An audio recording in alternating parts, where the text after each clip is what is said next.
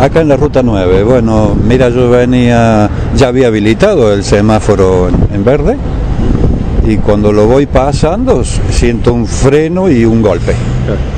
Usted venía por la ruta 9 en su camioneta, digamos. Claro.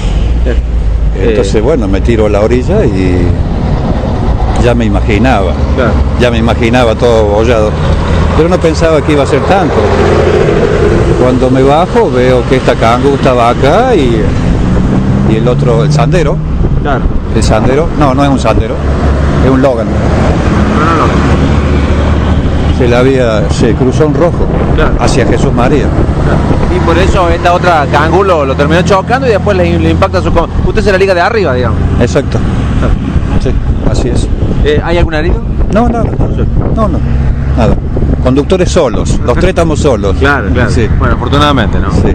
Así que bueno, ahora qué vamos a hacer. ¿Todos tienen seguro? Eh, en mi caso la camioneta no es mía. Claro. Yo soy mecánico, la salí a probar. Uh, sí. Pero bueno, eh, a usted lo chocaron, a decir que el daño se lo tiene que pagar otro. El dueño de la camioneta sabe. Lo- eh, ya sabe, ya, ya lo llamé y le dije.